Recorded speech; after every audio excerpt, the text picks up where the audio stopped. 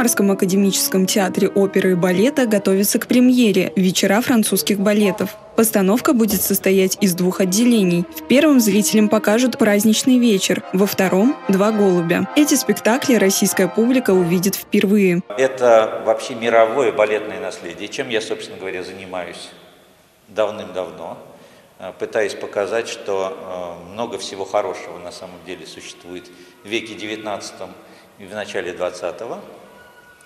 И это замечательный танцевальный материал для артистов, где есть э, проявиться их дарованием, талантом, э, особенно моим, которых я очень хорошо знаю. Э, я думаю, что это будет очень интересно публике. Они очень контрастные, они очень не похожие друг на друга. Праздничный вечер был создан для знаменитой русской балерины Ольги Списивцевой, танцевавшей в Парижской опере с 1924 года. Впервые спектакль показали на сцене в 1925 году. Партитуру для самарской постановки сформировали на основе музыки из балета «Ручей» Лео де Либо и хореографии Лео Стаца. Ведущая солистка в спектакле – балерина Ксения Овчинникова. Это такой бессюжетный спектакль. Это как вот просто какой-то отрывок из жизни. Да? Вот просто. Здесь не нужно что-то играть, что ну, слишком переживать. Здесь, мне кажется, что просто нужно чувствовать музыку, она прекрасна вот в нашем балете.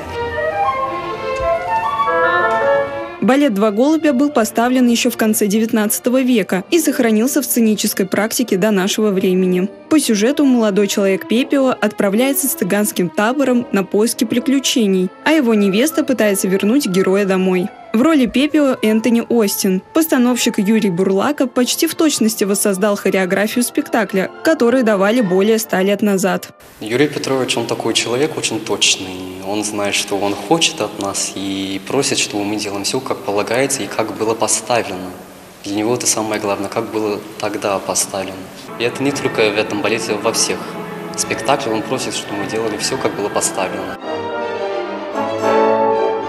Артисты готовились по старым записям спектакля, но балетмейстер-постановщик внес свои коррективы. Посмотрев ее, Юрий Петрович решил, что это легко, и добавил а, достаточно много вращений, много пируэтов, а, что сделало ее абсолютно нелегкой и очень зрелищной.